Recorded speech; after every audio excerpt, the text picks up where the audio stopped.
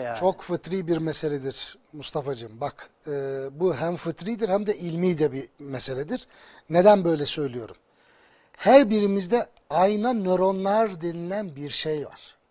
Beyin hücrelerimizde. Bu ayna nöronlar baktığını, gördüğünü, bak çok ilginç. Pascal bilirsin işte şu Düşünceler kitabının yazarı. Çok koyu Hristiyandır kendisi. Ve aynı zamanda da işte e, Hristiyan teolojisiyle birlikte felsefe yapmıştır. Pascal inanıp inanmama noktasında der ki yani inanmakta zorlanıyorsanız inanmasanız bile kiliseye gidin. Onlarla birlikte olun.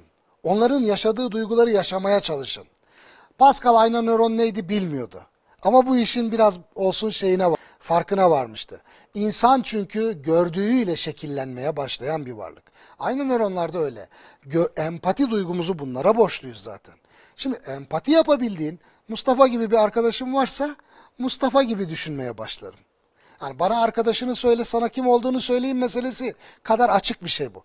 Bana ne izlediğini söyle, sana kim olduğunu söyleyeyim. O kadar açık bir şey bu.